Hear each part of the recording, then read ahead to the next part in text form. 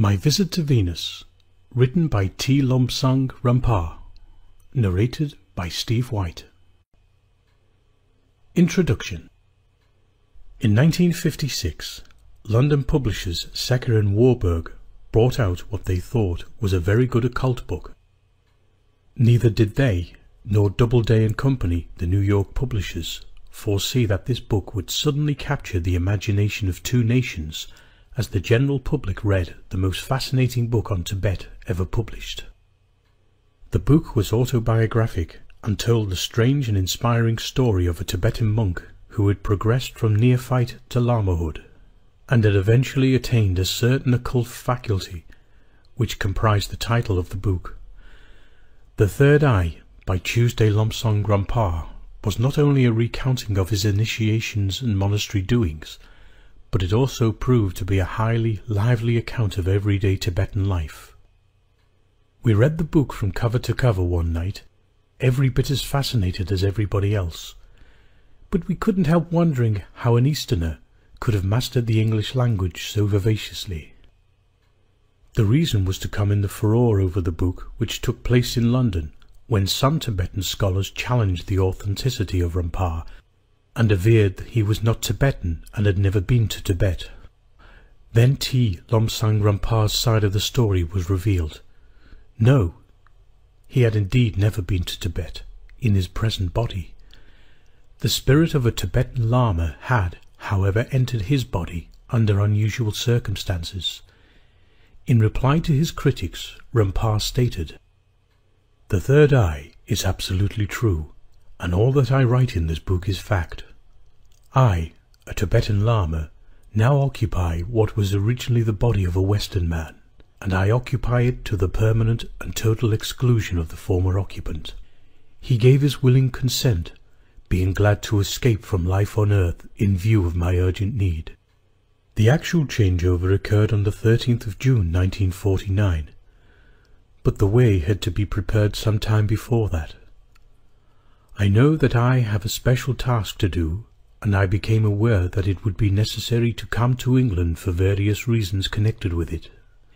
In the latter part of 1947, I was able to, by telepathy, send impressions to a suitable person. In February 1946, he changed his name by legal deed poll. To make the changeover easier, he altered his address a number of times and lost contact with all friends and relations. On the 13th of June 1949, he had a slight accident which resulted in concussion and which knocked him out of himself. This enabled me to take over. I tried very hard indeed to obtain employment in England, but for various reasons there was no assistance from the Employment Exchange. For years I visited employment exchanges and the appointment bureau in Tavistock Square, London. I was also registered with a number of private employment agencies and paid quite a considerable amount to them in fees, but none of them did anything for me. For some time we had lived on capital which had been saved and upon anything which I was able to earn from doing freelance writing or advertising. I had a special task to do because during my life in Tibet I had been to the Changtang Highlands, where I had seen a device which enables people to see the human aura. I am a clairvoyant and can see the aura as I have demonstrated to many people at many times. But I am aware that if doctors and surgeons could see the human aura, then they could determine the illness afflicting a human body before it was all serious. It was not possible for me to come to England in the body which I had then. I tried, but to no avail. The aura is merely a coronal discharge of the body, of the life force. It is similar to the coronal discharge from a high-tension cable which can be seen by almost anyone on a misty night. And if money would be spent on research, medical science would have one of the most potent tools for the cure of disease. I had to have the money in order to carry out my own research, but I have never taken money for curing people's illnesses or for taking their troubles off their shoulders, as has been misrepresented in a certain paper. And how did The Third Eye come to be written? I certainly did not want to write it, but I was desperate to get a job so that I could get on with my allocated task. I tried for job after job without avail, until eventually a friend offered to put me in touch with a gentleman who might be able to use my service. Mr. Brooks said I should write a book. I insisted that I did not want to write a book, and so we parted. Mr. Brooks wrote to me again and once more suggested that I should write a book. In the interval between seeing him and receiving his letter, I had been for other interviews and had been rejected. So, with much reluctance, I accepted Mr. Brooks' offer to write such a book. And here again I repeat that everything said in that book is true. Everything said in my second book, Doctor from Lhasa, is also true. One should not place too much credence in experts or Tibetan scholars when it is seen how one expert contradicts the other, when they cannot agree on what is right and what is wrong. And, after all, how many of these Tibetan scholars have entered a lamasery at the age of seven and worked all their way through the life of a Tibetan, and then taken over the body of a Westerner? I have. What about the man whose body Rampa took over? What of his former life before the transformation? Following are some remarkable statements by his wife. Many people will wonder about the one who occupied that Western body before it was taken over by a Tibetan, and I, as the wife, would like to tell you something of the events leading to the change of personality. At the first indication of something different was more than a little startled. We were leading a quiet life in Surrey, my husband being on the staff of a correspondence college in an advisory capacity, and the war had been over for two years. Out of the blue came his remark towards the end of 1947. Sitting quietly for some time, he startled me by suddenly saying, I'm going to change my name. I looked at him aghast, for I had failed to see any point in doing such a thing. We have nothing to hide, nothing from which to run away. It took me some time to recover after he continued, Yes, we will change our name by deed poll. By February 1948 all the legal formalities had been completed, and we had no further right to our previous name. My husband's employer was not pleased, but there was little he could do about it, especially as at about that time one of the firm's directors had made an alteration to his own name. Of course, everyone thought we had at last taken leave of our senses, but that had never bothered me. I had lived with my husband for eight years, and knew that if he had a hunch to do anything at all, there was always a very good reason for it. Soon, however, we noticed people were not saying our name when addressing us, and even after seeing it written, they didn't seem to be able to spell it. For that reason we later contracted it. I want to clarify this point, to show that we have at no time used an alias, as has been mistakenly suggested. At about this time my husband talked a great deal about the East, and on occasions he did in fact wear Eastern dress. He often seemed to be very preoccupied in his manner, and I have known him to fall into a trance state and speak in an unfamiliar tongue, which I now believe to be a language of the East. In July 1949 he again made a sudden decision, this time to give up his job. This he did to the consternation of his employer, who had always found him to be a very useful and conscientious member of his staff.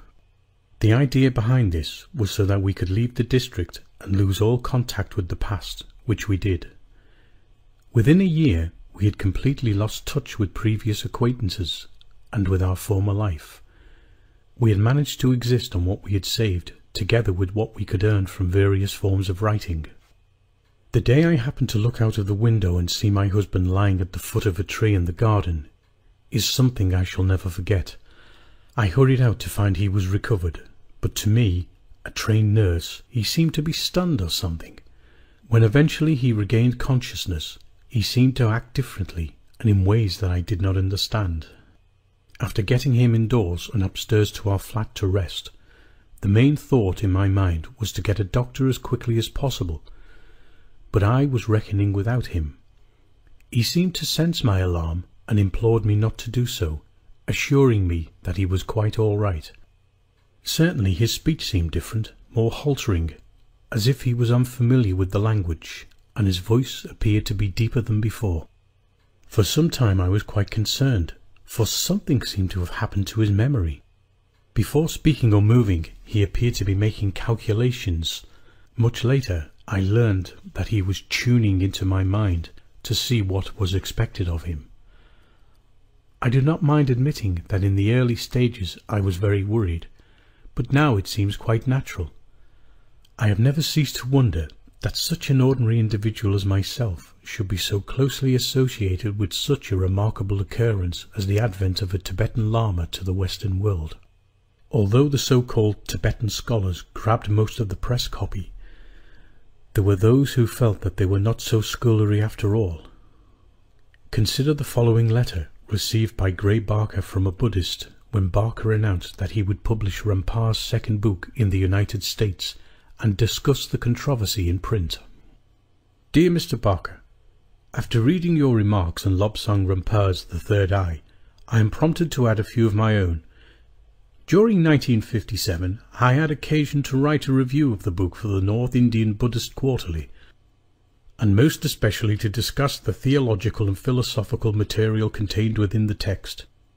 At the time I wrote the review, I was, as were so many others, trying to find fault with the accuracy of the information given. I had already heard that some of the descriptions of costume and garb did not accord with the reports of academic anthropology, and, in my ignorance of the divergencies of Tibetan religion from orthodox Buddhism, I was shocked to find that one who called himself a monk should embrace views which, from the standpoint of Aryan doctrine, were all but heretical. Imagine my surprise, then, when I received letters from Tibetan Pongyi, complimenting the succinct description of Dum Chand's theology contained in my review. This description was composed exclusively of paraphrases on the Lobsang Rampa book under review. The greatest point of discussion was that which had to do with the order of discipline within the internal communities of Tibetan monks. The Western correspondents and Indian observers all told me that Rampa was wrong, but the Tibetans wrote complaining that he had divulged secret knowledge, which was the property of their arcane schools of their country, and which a close brother in physical form, or etheric, did poorly to publish in the far lands to the west, where it still lay open to the gaze of the uninitiate. Sincerely yours, Gensha Magaguru, at Bondi Sangha, Sat America, New York, New York. Even though exposed by Tibetan scholars, the public continued to believe in Rampa and to buy his books. Rampa's subsequent books gave more details of experiences which he had encountered after the period covered by the third eye. Some of them consist of practical occult teachings from which the ordinary person can profit. Rampa kept the subject of flying saucers and space travel out of his books, evidently afraid that these accounts might not be believed some of these writings included in this book have been published by the Saucer Press, and some of them have been circulated privately in a mimeographed manuscript edition. Public awareness of the UFO phenomenon, however, has come a long way since the 1950s. We think it is time to put together Rampa's flying saucer writings in book form so that the public can read of these remarkable experiences. And so, this limited edition has been prepared and published. We predict that it will be much sought after, and that once the original edition is gone, it will become a prized collector's item.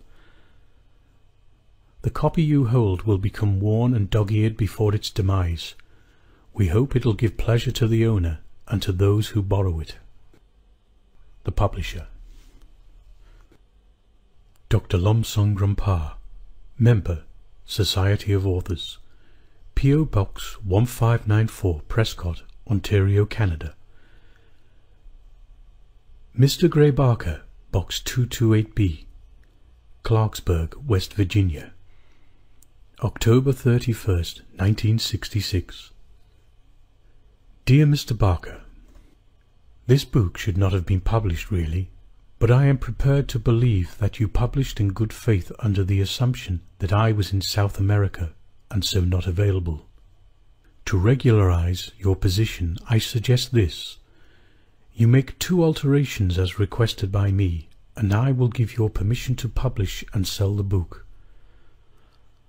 I will not take royalties on this book, My Visit to Venus, but instead you can send 10% of your profits to the Save a Cat League of 245 West 25th Street, New York City, because poor little cats have a miserable time in this hard world. You and I have had a hard time at the hands of the ignorant and spiteful, and I have never been afforded any opportunity of giving my own side of the case. The moronic press are like mad dogs in their incessant hatred of that which they do not understand. I tell you definitely and emphatically that all my books are true, are all my personal experiences, and I am whom I claim to be. Yours sincerely, T. Lobsang Rampa. Dedicated to all humanity. Part 1 The Home of the Gods Flying saucers? Of course there are flying saucers. I have seen many, both in the sky and on the ground, and I have even been for a trip in one. Tibet is the most convenient country of all for flying saucers. It is remote from the hustle of the everyday world, and is peopled by those who place religion and scientific concepts before material gain. Throughout the centuries, the people of Tibet have known the truth about flying saucers, what they are, why they are, and how they work, and the purpose behind it all. We know of the flying saucer people as the gods in the sky in their fiery chariots. But let me relate an incident which certainly has never been told before in any country outside of Tibet, and which is utterly true. The day was bitter. Frozen pellets of ice driven by the howling gale hammered like bullets into our flapping robes and tore the skin off any exposed surface. The sky was a vivid purple with patches of startlingly white cloud which raced off into the hinterland. Here, nearly thirty thousand feet above the sea, in the Changtang highlands of Tibet, we were toiling upwards, upwards. At our last resting place, some five miles behind us, a voice had come into our consciousness. Strive on, my brothers, strive on, and enter the fog belt again, for there is much for you to see. The seven of us, all high lamas from the lamaseries of Tibet, had had much telepathic communication with the gods of the skies. From them we had learned the secret of the chariots which sped swiftly across our land, and which sometimes alighted in remote districts. Onwards we climbed, higher and higher, clawing a foothold in the hard earth, forcing our fingers into the slightest crevice in the rocks, at last we reached the Mysteria fog belt again and entered. Soon we were through it and into the wonderfully heated land of a bygone age. A day's more march, my brothers, said the voice, and you shall see a chariot of old. For that night we rested in the warmth and comfort of the hidden land. We found ease and relaxation on a soft bed of moss and in the morning we gratefully bathed in a warm, broad river before setting out on another day's march. Here in this land there were pleasant fruits which we took with us for our meal, a satisfactory change indeed from the eternal tsampa. Throughout the day we journeyed upwards through pleasant trees of rhododendron and walnut, and other, the like of which we had never seen before. All the time we were rising upwards, and all the time we were in this pleasant, warm land. With nightfall upon us, we made our camp beneath some trees, and lit our fire, then rolled ourselves in our robes, and fell asleep. With the first light of dawn, we were again ready to continue our journey. For perhaps another two to two and a half miles we marched, and then came to an open clearing. Here we stopped, dumbfounded with amazement, the clearing before us was vast and incredible. The open plain we saw was perhaps five miles across, and the scene was so strange that even now I hesitate to write because of the knowledge that I shall be disbelieved. The plain was about five miles across, and at its distant side there was a vast sheet of ice extending upwards, like a sheet of glass reaching towards the heavens. But that was not the strangest thing before us, for the plain contained a ruined city, and yet some buildings were quite intact. Some buildings, in fact, looked almost new. Nearby, in a spacious courtyard, there was an immense metal structure which reminded me of two of our temple dishes, clamped together, and it was clearly a vehicle of some sorts. My guide, the Lama Mingyar Dondup, broke our awed silence, saying, This was the home of the gods half a million years ago. During those days, men strove against the gods and invented a device to shatter an atom which wrought disaster on the earth, causing lands to rise and lands to sink, destroying mountains and creating anew. This was a mighty city, the metropolis, and here was once the seashore. The convulsion of the earth which followed an explosion raised this land thousands of feet, and the shock of that explosion altered the rotation of the earth. We shall go closer, and we shall see other parts of the city embedded in the ice of the glacier, a glacier which, in this hot valley, has gently melted, leaving in fact these ancient buildings. We listened in fascinated silence, and then, as if by one common impulse, we moved forward. Only as we came close to the buildings did it become apparent to us that the people who lived here must have been not less than twelve feet tall. Everything was on a giant scale, and I was forcibly reminded of those huge figures which I had seen deep in the hidden vaults of the Potala. We approached the strange vehicle of metal. It was immense, perhaps fifty or sixty feet across, and now dulled with age. We saw a ladder extending up into a dark opening, and, feeling as if we had trod sacred ground, we crept up one by one. The Lama Mingyar Dondup went first and soon disappeared into the dark hole. I was next, and as I reached the top of the ladder and stepped inside the metal hull, I saw my guide bending over what looked to be a sloping table in this large metal room. He touched something, and a bluish light came and there was a faint hum. To our horrified amazement, at the far end of the room, figures appeared and walked towards us and spoke to us. Our first impulse was to turn and run, to flee this house of magic, but a voice in our brains stopped us. Be not afraid, it said, for we were aware of your coming, and have been so aware this last hundred years. We have made provision so that those who were intrepid enough to enter this vessel should know the past. We were held as if hypnotized, powerless to move, powerless to obey our animal instincts and escape. Be seated, said the voice, for this will be long, and tired men do not listen well. We sat, the seven of us in a row, facing the end of the room, and waited. For some seconds the buzzing continued, the light in the room faded, and we were in darkness so profound that we could not see our hands before us. Some seconds later the buzzing stopped, and there was a faint click. Then upon the wall appeared pictures, pictures so utterly strange that they were almost beyond our comprehension. Pictures of a mighty city amongst whose ruins we now sat, a city beside the sea, upon which rode many strange craft. Overhead Disc-like vehicles soared through the air, soundlessly, effortlessly. Upon the shore of golden sands giant figures strode amongst waving palm trees. We could hear the sound of happy voices of children at play as they splashed in the surf. We saw scenes in the streets, in the houses, in the public buildings. Without warning, we saw as if from some craft in the air, it reminded me so vividly of my kite flying that I almost clutched a non-existent crossbar. Then there was a dreadful boom, and from afar a mushroom-shaped cloud soared miles to the heavens, a cloud shot with crimson and yellow, as if the very breath of the gods was a fire. Engulfed. From our vantage point we saw buildings topple, and people fleeing for their lives. Then, from out of the distance roared a huge wave of the sea, perhaps fifty feet, perhaps a hundred feet high.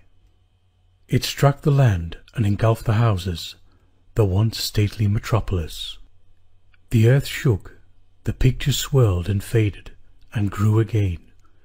We had an impression of falling, spinning, and all was blackness. For what seemed to be a long time, we sat wonderingly in the darkness. A picture came on the wall again, but this time a different picture. We saw the cleaning, and in it was strange craft. Men seemed to be doing maintenance work, servicing. Craft were continually arriving and departing. There seemed to be many different types of people, ranging from those about fifteen feet tall to some about five feet tall. The picture changed, and we saw views outside the earth, and a view of the dark side of the moon. The voice off the screen gave us an explanation throughout the picture. We learned that there was an association, a white brotherhood, composed of incarnate and disincarnate entities. Those who were incarnate came from many different planets, and they had as their one aim the safeguarding of life.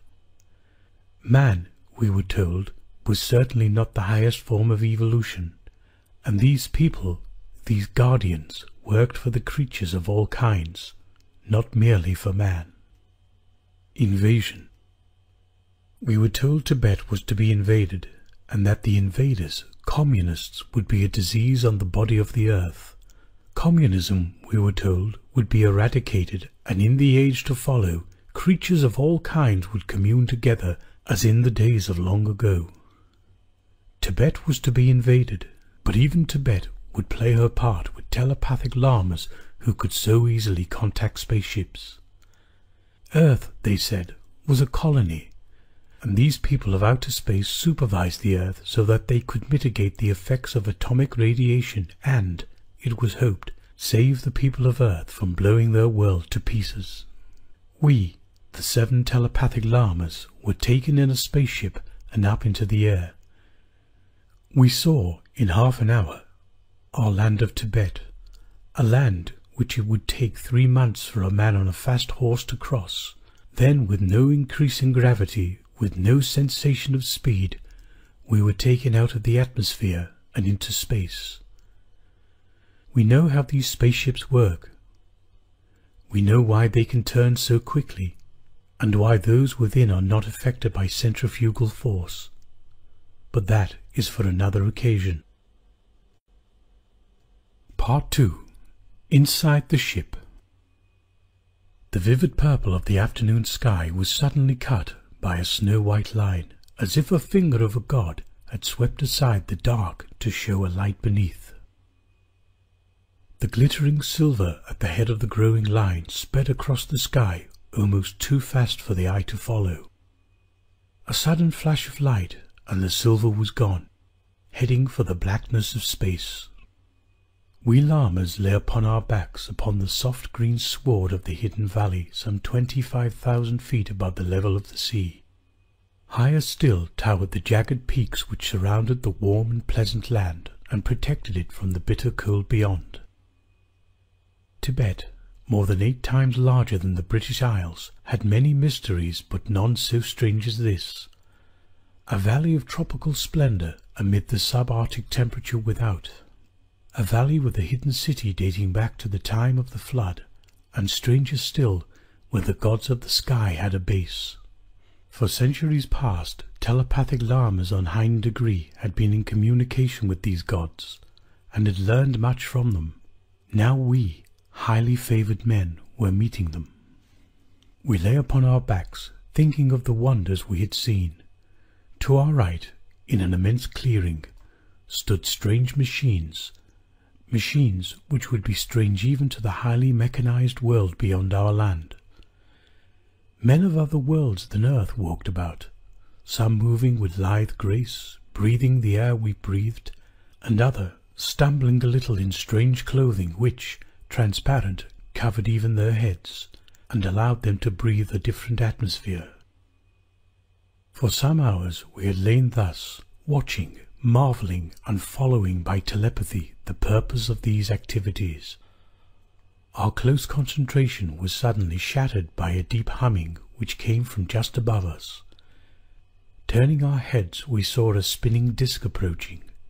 As it passed over us, We were flattened to the earth as if by a very strong wind, as if our weight had surprisingly doubled on the instant. Then it was over, and we raised up, resting upon an elbow to watch the landing of the machine.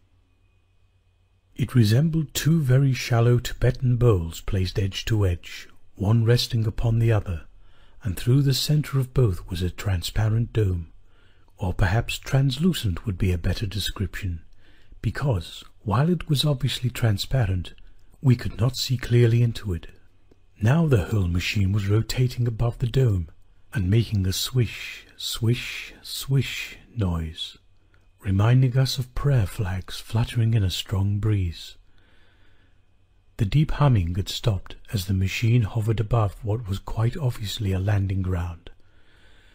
Gradually the machine sank, lower and lower, until it was obscured from the view by a much larger tubular vessel.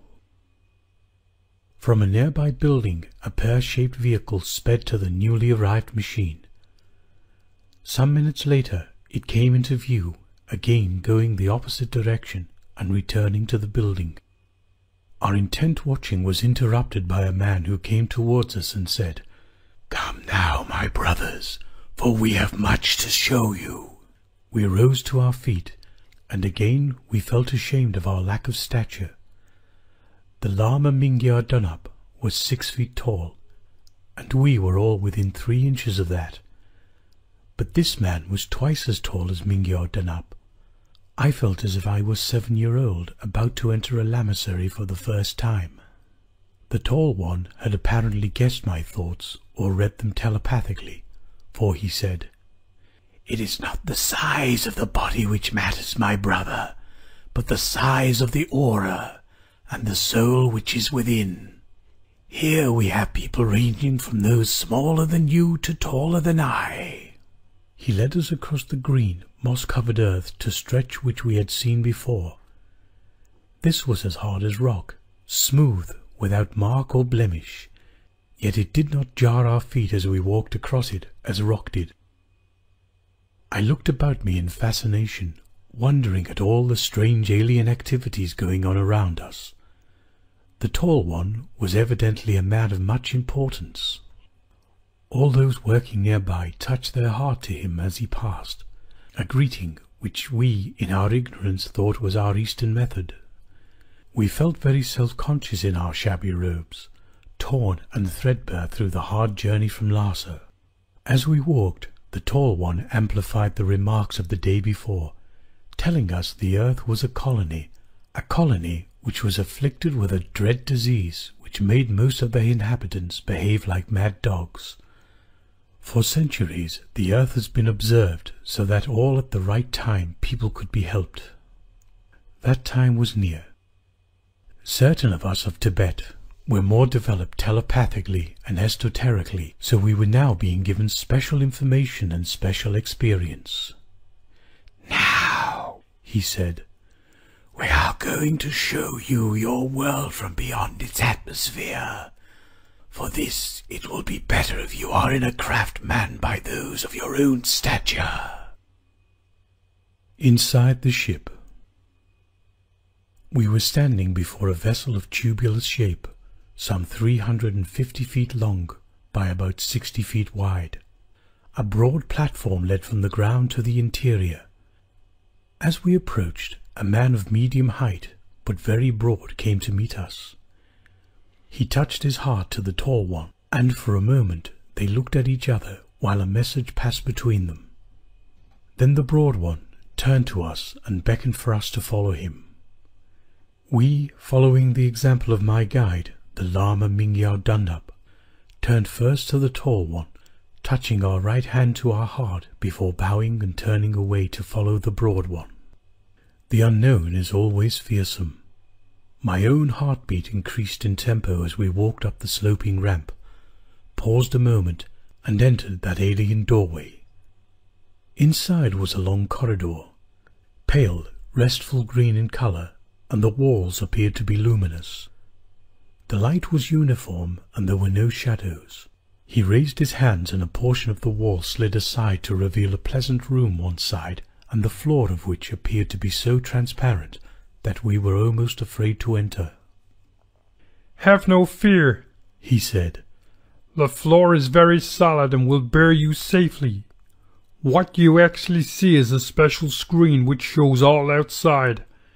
There are no windows here. We gasped and entered hesitatingly. It was as if we were walking on nothing, and I certainly had the impression that I would fall through to the ground.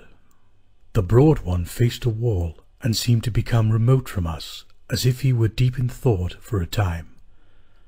I stood idly gazing through what I thought was a transparent floor, but now knew to be a special screen. I watched other nearby vessels and people working on them. Suddenly my knees felt weak with terror. These things were moving further away. The ground was dropping beneath us, and I expected us to fall as well. But there was no sign of sensation of motion. The broad one came out of his seeming reverie and spoke. We are going to take you out of the earth, he said. We are going to show you your earth from afar. I replied, But we are not moving. If we were, we would feel something. When I swung at the end of a rope, or when I flew in a kite, I certainly felt. But here there is no sensation. The broad one replied, No, there is no sensation but we maneuver at speeds beyond the ability of any flesh and blood to withstand. And we have special devices which automatically neutralize the effects of sudden turns or of too high speed stops. You will feel nothing whatsoever in this ship, nor is there anything for you to worry about. We have long ago mastered the science of gravity. Later you shall see through this ship. But first... He gestured with his hands towards the screens. We looked. No sensation of motion. Far beneath us, the rugged land that was Tibet was sinking. The mighty mountains, some towering higher than the much vaunted Everest, were becoming flattened by the distance, becoming just pimples on a plain surface.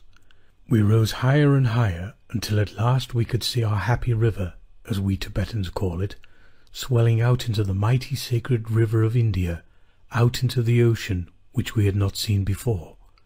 We saw the outline of the coast and could easily distinguish the Bay of Bengal and see far into China.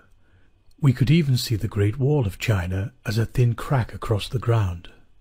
The sun seemed to be below us, huge, swollen by the refraction of the air, glowing red like the open mouth of a lamasery furnace.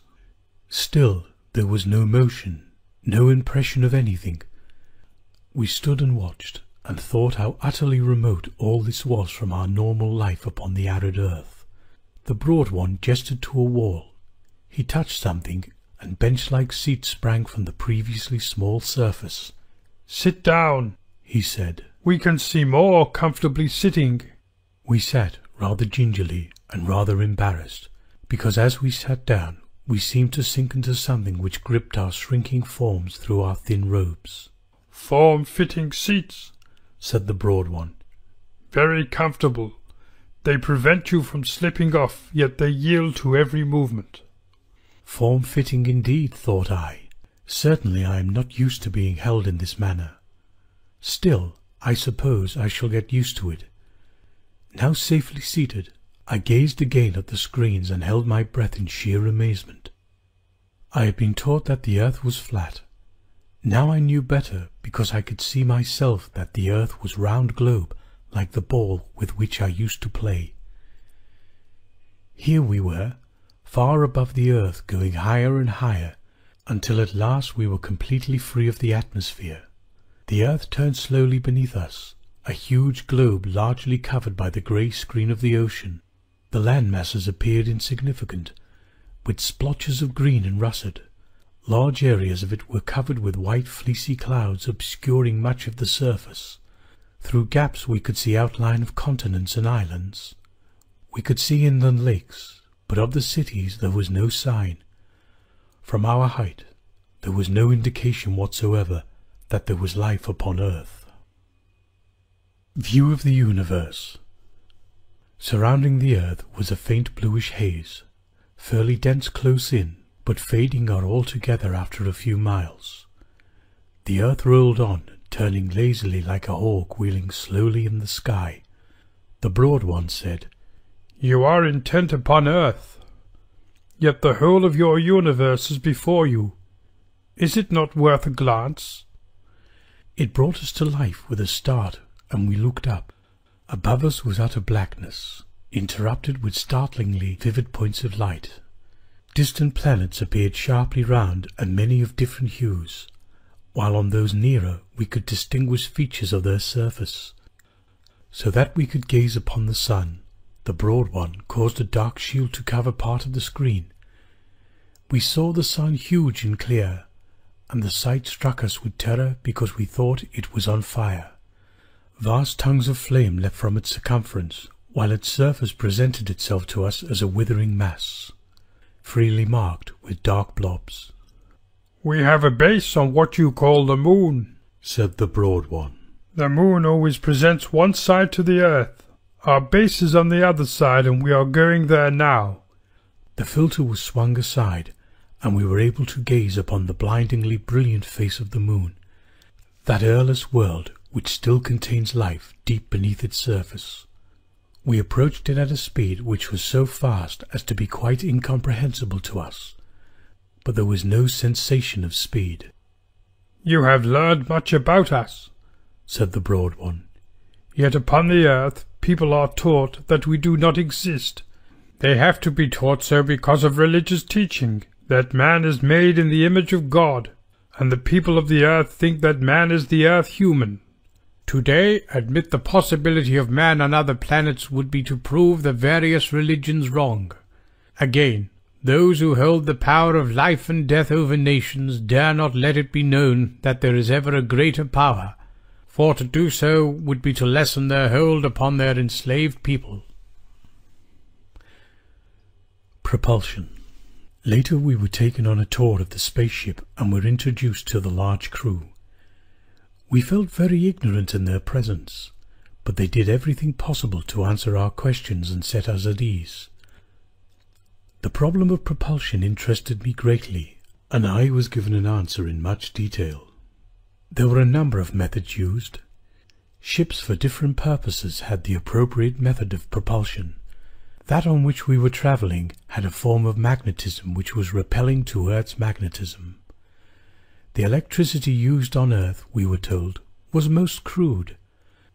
That used elsewhere was a form of magnetism based on cosmic energy. The force was picked up from the cosmos by special collectors on the surface of the ship and conducted to the engine room. Here it was fed through the induction coils to the two halves of the ship. The half facing the Earth was strongly repelling to Earth, and the half facing the planet of destination, in this case the moon, was strongly attracted to the planet. On a planet, the repelling force could be adjusted so that the machine could hover, rise, or sink. The whole interior of ship was lined with a network of conductors, so that no matter what altitude a ship adopted, the force of gravity was at all times the most suitable for the occupants we were shown the remarkable simple device which automatically adjusted the gravitic force. But there is no more space to go into greater detail. It is indeed a tragedy that Western peoples are so skeptical, for there is such a lot to tell, and if it is a waste of time to even start when one knows that one will be disbelieved. Flying saucers are real, very real. Part 3 my Visit to Venus The evening wind sighed gently through the trees of the hidden valley. There was an atmosphere of peace, of harmony, of beings working for good. We lay by the side of our campfire, the Lama Mingyar Dondup, and three companions, five of us in all. We had journeyed far from Lhasa, from the frozen slopes of mountains and barren land. Now there were but five of us, though eleven of us had started out. Our companions had fallen by the wayside, victims of avalanches, victims of privatin and of the bitter, freezing cold.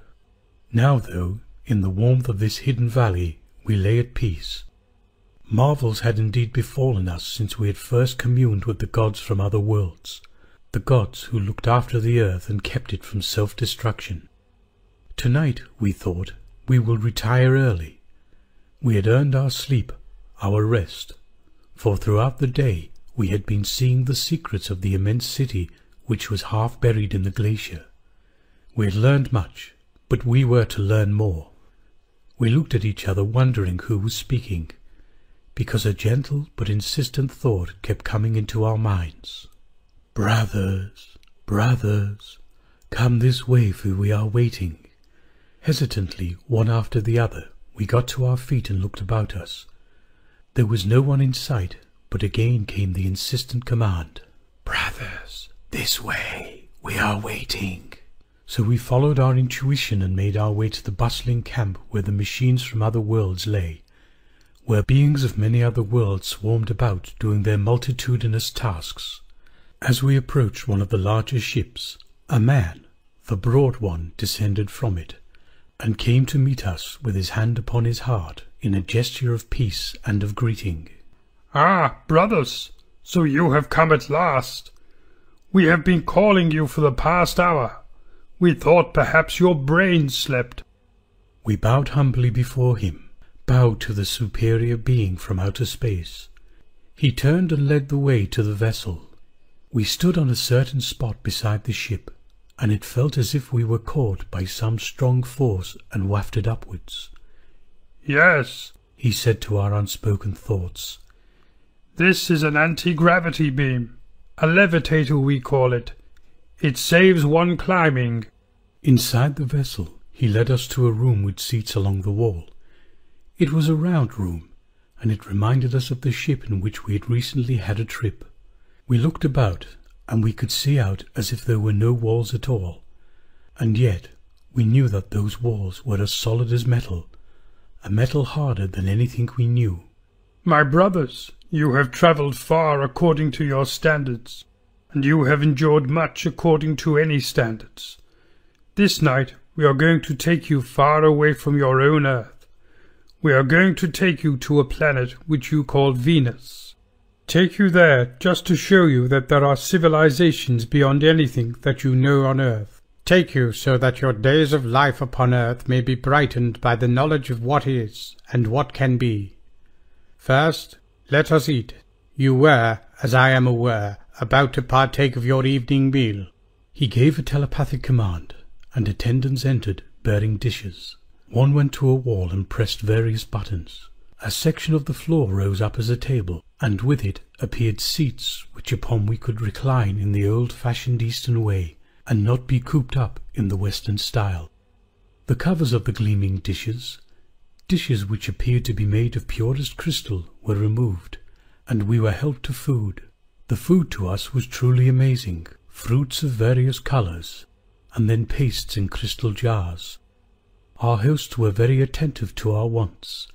The broad one said, Here we eat only that which nature provides. These are fruits such as you know not on earth, fruits which to us supply bread, meat, everything. These pastes, which you will find truly delicious, are compounded of nuts from other planets of the system. They were, as he said, truly delicious, and we all ate very well indeed. The flavours were most strange to us, but wholly pleasant, and the liquors which we drank were again the juices of fruits. These people were, we thought, even more humane than we of Tibet. They killed nothing, nor did they strain animals in order that their milk could be taken. At the conclusion of our meal, the dishes were removed and the table and dining seats disappeared again into the floor. The broad one said, This time I shall go with you. We are moving now. We turned and looked through the wall. There was no sense of movement, no sound, yet we were rising. We rose faster and faster, leaving the darkening earth and going out so that looking down we could again see the sun gleaming over the horizon, gleaming over the curvature of the earth in the far, far distance. As we rose higher and higher, we could see the continent of the earth in various hues and colours, greens and browns, we could see the white of the clouds and the bluish grey of the turbulent waters of the seas. But of the works of man there was no sign, no sign at all from our height that anything lived upon the earth. As we went higher, we found that the strange lights were playing outside the windows, as if the rainbow had come in sheets, undulating sheets, but here were more colours than any rainbow ever possessed. It was an electric discharge from the aurora. It looked as if the whole earth was girded with gold, red, green, and of deepest purple, waving as if in some invisible wind. Showers of light, glinting and scintillating with all colours, flashed about through the curtains as if the curtains were being pierced by the spears of the gods. Higher and higher we went, out into the deep blackness of space. The earth was now but the size of a small round fruit, gleaming with a blue-grey light, not at all like the moon which had a yellowish light, but blue-grey, a strange colour indeed. We sped on and on into space, and the stars ahead of us changed colour. The sun ahead of us turned from its golden rays to blood red. Behind us the earth had disappeared. Behind us, to our amazed stupefaction, there was nothing at all save darkness, blackness, the blackness of an utter void. I turned with a gasp of amazement to the Broad One, but he just laughed and said, Oh, my brother, we are going faster than light, and so behind us there is no light because we are outstripping it, and ahead of us we are catching up on light. So the whole visible spectrum is deranged. Thus, instead of the white glare of a planet, you see red, and darker red until the red turns to purple, and then the purple to black, and then the light which you see is not light at all, but an illusion of the senses. Faster than light. This indeed was fascinating, but on we sped without feeling any sensation, outstripping light itself. I could not understand how they could navigate at such a speed, but the answer to that was that it was all done by robotic controls. We were spellbound in our seats watching outside. Instead of pinpoints of light, we saw streaks as if some clumsy artist had daubed a black wall with glowing colours which had changed as we looked at them. At last the colours began to appear more normal.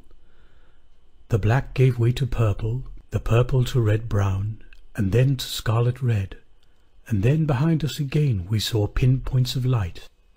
Stars, though, behind us were green and blue, while ahead of us they were still red and yellow. As we slowed down, still more of the stars ahead turned to their normal colours, as did those at the back. Ahead of us was a huge ball, turning lazily in the black sea of space, a ball completely covered in white fleecy clouds, a ball which reminded me of thistledown floating against a black sky. We circled two, three, perhaps five times, and then the broad one said, We are about to enter the atmosphere. Soon we will be down, and you can walk upon a world which is not alien, but merely strange to you. Slowly the ship sank. Slowly it became immersed in the fleecy white cloud. Billowing fingers reached out and fled by our windows. The broad one touched a control, and it was as if by magic fingers had swept aside the cloud, swept aside everything that obscured the view. We looked out in awe. The clouds by some magic of the gods had been made invisible, and beneath us we saw this glittering world, this world filled by superior beings. As we sank lower and lower, we saw fairy cities reaching up into the sky, immense structure, eternal, almost unbelievable in their delicate tracing of their buildings. Tall spires and bulbous cupolas, and from tower to tower stretched bridges like spiders' webs, and like spiders' webs they gleamed with living colours, reds and blues, mauves and purples and gold. And yet, what a curious thought, there was no sunlight. This whole world was covered in cloud. I looked about me as we flashed over city after city, and it seemed to me that the whole atmosphere was luminous. Everything in the sky gave light. There was no shadow, but also there was no central point of light. It seemed as if the whole cloud structure radiated light evenly, unobtrusively, and the light was of such quality as I had never believed existed. It was pure and clean. At last we left the cities and came to a beautiful sparkling sea, a sea of purest blue. There were a few little craft upon the water, and the broader ones smiled benevolently as I pointed to them and said, Oh, they are merely pleasure craft. We do not use anything so slow as ships on this world. After some minutes we crossed that ocean and came to another gleaming city, even better than the ones we had seen before, and in the very heart of the city there was a clearing to which we approached. For some minutes we hovered perhaps half a mile above the city, above the clearing, and then, as if in answer to some signal, we sank slowly, soundlessly, and effortlessly. Gradually, imperceptibly almost, the ground came closer and closer. Soon we were level with the topmost towers of that glittering city, that fabulous city, the like of which no man from Tibet had ever seen before. We could not determine the nature of the materials. They towered towards the stars, pointed, and from every window of those immense buildings faces peered out. As we got closer and closer, and lower and lower, we could discern those faces with startling clarity. They were beautiful. Throughout our stay on Venus, indeed, we saw no one who was not by Earth's standards startlingly beautiful. Ugliness was not known here on this world, whether it be ugliness of mind or ugliness of body, both were absent. Almost before we were aware of it, we were on the ground. Our machine had descended without a tremor, without a jerk. The broad one turned to us and said, It is time for us to alight, my brothers. And then he led us out of the room. As we reached the ground, we looked around for the first time. Before we had been too busy marvelling at the methods of our descent. Now we found people waiting for us. Officials, obviously. Tall men, grave-faced, but with a dignity and presence not known upon the turbulent earth. One of them stepped forward and inclined his head in our direction. Into our minds flooded thought, his thought, telepathy. He was greeting us in the universal language of thought. No sound was uttered in all that gathering. No sound, that is, except perhaps our own involuntary gasps of astonishment. The Hall of Knowledge. For some minutes we all stood thus in telepathic communication, and then the spokesman bowed to us and turned away with a telepathic instruction for us to follow him. We did so for some fifty paces, and then we came to a most remarkable vehicle. They called it an air car. It was a vehicle perhaps thirty feet long, and it was floating two or three inches above the ground. A section of clear plastic slid aside, and we were all shown inside. The broad one and the spokesman got in with us. We sat back on those very comfortable seats, and then again we exclaimed in astonishment for without feeling motion we were speeding along at a truly frightening speed. Buildings by us were blurred with the velocity of our travels, and I certainly was quite frightened. There were no controls in the vehicle. We were sitting, and the machine was taking us. The broad one smiled benevolently at me and said, Fear not, my brother. There is nothing to fear. This machine is controlled from afar. Soon we shall be at our destination, the Hall of Knowledge, where you will be greeted, where you will be shown the past of your earth, the present of your earth, and the future of your earth. The probable future, my brother, that is, because man makes his own path, but probabilities are very strong things indeed, and unless man changes his mind, the probabilities that you will see in the Hall of Knowledge will be facts. I looked over the side and found that we were perhaps six feet above the ground, which was absolutely flashing by. The vehicles passing on either side of us seemed to come charging at us, and then, at the last instant, miss us. It really frightened me. It sent chill shivers up and down my spine to think what would happen if two of these vehicles travelling at such colossal speed met head on. I became aware that the buildings were passing by more slowly. I could think that the buildings were moving and not us, because we had no sensation of moving nor of speed. Gradually the vehicle slowed, then it hovered, and turned in a half circle and went to the left, to an immense building which stood in a clearing. It was a huge public building, supported on glittering pillars. Wide stairs led up to it, and on the stairs there were groups of young people, apparently just waiting to see us visitors from Tibet. The machine continued on slowly, perhaps at the speed of man running. It rose to the level of the top of the steps and then slid inside the main doors of that magnificent building. It came to a halt. Attendants hurried to meet us, slid aside the doors of our machine, and helped us to alight. I looked about me in absolute fascination. To one side was a green-covered table, and around it there were what appeared to be a group of golden thrones in which a group of men sat. Soon we were in telepathic communication with the group, the lords of Venus, the controllers of that particular sphere of activity. It does not matter what they told us, nor what we told them, but eventually one man thwarted us. Now, my brothers, we have exchanged much knowledge of interest. We will give you a sight of your world, a sight of the present-day conditions of your world, as they are in all countries of that globe, and we will show you the probable causes of your world's future. He rose, and the others rose also. They led the way along a corridor, and then we of Tibet involuntarily stopped and held our breath in sheer, shocked amazement. Before us appeared the blackness of night, the utter blackness of space, and floating, turning lazily, was our earth. We saw the blue-grey of the continents, the brownish patches and streaks of green, the white of the clouds. We saw the bluish haze of the atmosphere of the earth, extending round, girdling our world. Our great friend, the Broad One, touched me and whispered, whispered in Tibetan, Fear not, my brother, for this is the simulacrum. This is the hall of memories, the hall of all knowledge of the earth. Be not afraid of what is to happen, for this is but science, the science of illusion, and that too is but the world of illusion. You will see, and what you shall see will be the truth.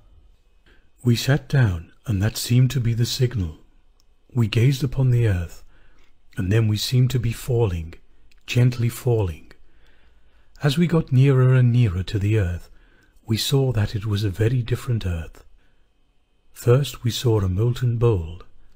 Then before our startled eyes the molten bowl became solidified. Cracks appeared. Gouts of flame rushed out. Water came and spread across the face of the earth. The land rose, parts of it sank, countries were formed, and seas too. We saw the convulsions of the earth as it was at its birth. We saw strange, unbelievable people which were the first people of earth. We saw Poseidon, Lemuria, Atlantis. We saw also the mighty civilizations which flourished unbelievable eons before Poseidon, before Atlantis and Lemur. By now we could accept anything without a flicker of surprise. We had a surfeit of marvels. Wonders had no power over us. So as the earth grew older before our gaze, and nations were swept aside and replaced by other nations. It evinced interest in us, but no more. Our potentialities of being surprised had ended. Then we came to our own time. We saw Tibet when the founder of our religion first appeared in that country. We saw the building of the Potala, of the sweeping aside of the old fortress, which had been put there before the bloodthirsty king of Tibet. We reached our present year, passed it, went on into the future, into the year 3000. It was wonderful the things we saw and heard. We seemed to be upon the earth as if we were standing beside or even slightly behind the principal actors. We could see all, hear all, but we could not touch nor be touched. But eventually these wondrous impressions faded into the year three thousand and something. The Broad One stirred and said, now you see, my brother, why it is that we guard the earth. For if man's folly is allowed to go unchecked, terrible things will happen to the race of men. There are powers upon the earth, human powers, who oppose all thought of our ships, who say that there is nothing greater than the human upon the earth, so there cannot be ships from other worlds. You, my brothers, have been shown and told, and have experienced this, so that through your telepathic knowledge can contact others, so that you can bring your influence to bear. We do not know how long we were upon that planet. It might have been days, it might have been weeks. We were almost blinded by the splendor of the sights we saw.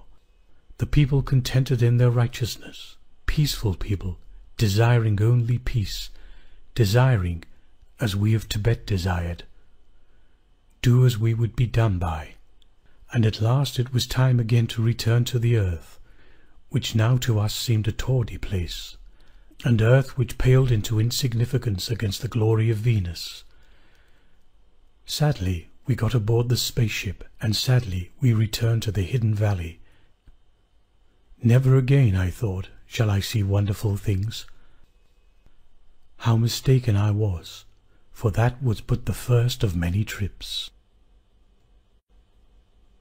Epilogue Did T. Lobsang Rampa actually go buzzing through the solar system in a flying saucer? Or was he just another deluded psychopath, dredging up a good yarn from the dark depths of a twisted mind? If he were a nut, he would have plenty of company. Men and some women have been circumnavigating the cosmos for thousands of years, leaving extensive records of their travels behind for us to puzzle over.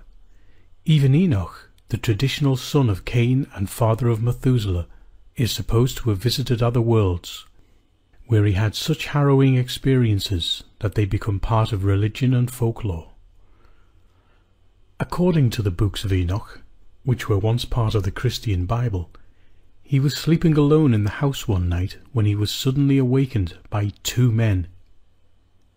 He was sleeping alone in the house one night when he was suddenly awakened by two men exceeding big, so that I never saw such on earth. They were standing at the head of my couch and began to call me by my name. Two giant entities plucked Enoch from his bed and escorted him into outer space, where, during the next sixty days, they gave him a guided tour of ten different worlds.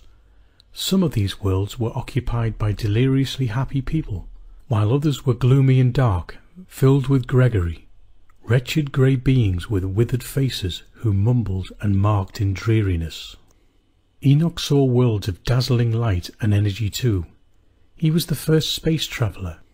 He was also the first abductee. Although he supposedly underwent those adventures more than four thousand years ago.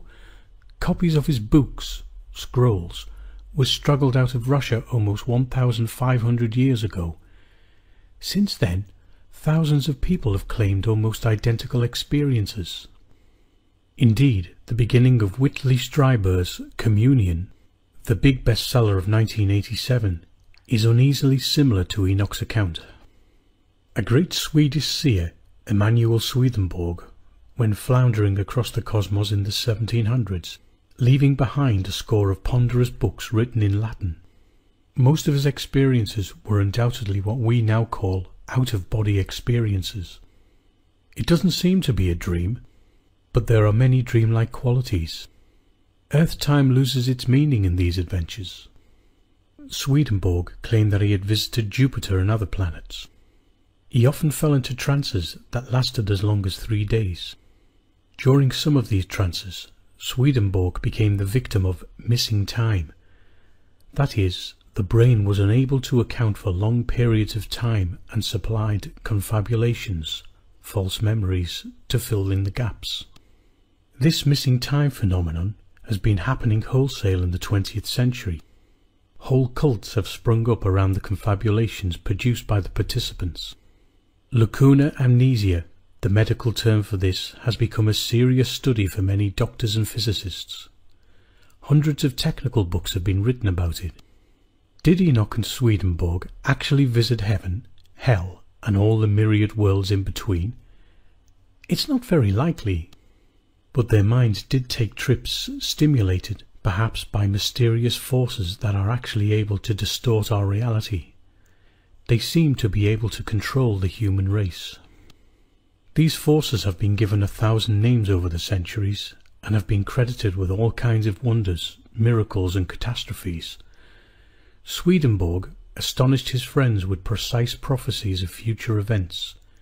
He was even able to accurately describe events that were occurring hundreds of miles away at that exact moment. Several years ago, I was mysteriously drawn to a cemetery on Long Island after a rash of strange phone calls and eerie instructions from various UFO contactees. Following their directions, I found myself standing among the tombstones of a family named Denton. But I didn't understand why.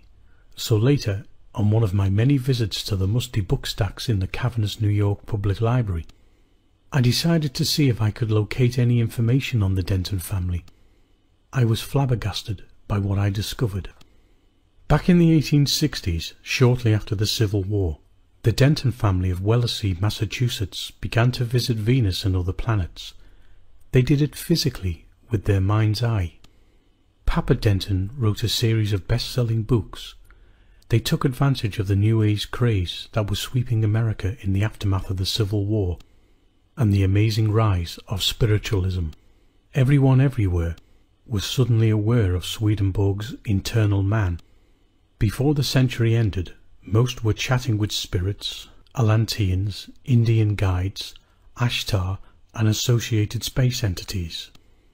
Astral projectionists everywhere were zooming around to the backside of the moon and frolicking on the satellites of Jupiter. The next New Age revival took place in the aftermath of World War I. The boys who failed to come home in 1918 began conversing with their loved ones through spirit mediums and spiritualism again became the rage. Spiritualism began in 1848 and has had many revivals since. Harry Houdini saved his flagging career by exposing some of the many phony spiritualists who claimed they had visited distant planets. Following World War II, there was another big revival of interest in things spiritual, and a whole new New Age movement sprang up in the 1950s these New Ages were preoccupied with flying saucers and the space brethren who were issuing stern warnings about our atomic follies. We were told to shape up or ship out, and some of us went. There were growing numbers of contactees all over the world who claimed they had been flown to other planets in flying saucers.